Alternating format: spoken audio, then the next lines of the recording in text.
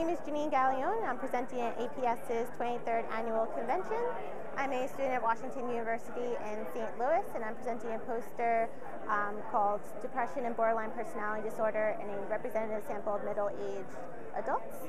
Um, this is part of a larger community-based investigation um, that is looking at personality in later life. We've recruited 630 participants thus far between the ages of 55 and 64 um, and they are representative of the, of the St. Louis area.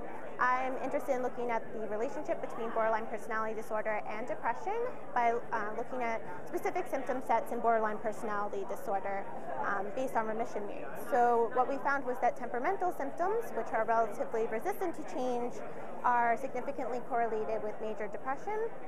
Uh, meanwhile, acute symptoms, which are um, change relatively quickly, are not significantly correlated with major depression um, when we account for temperamental symptoms. Um, we hope to do future studies um, that look at to see if temperamental symptoms can predict later episodes of major depressive disorder.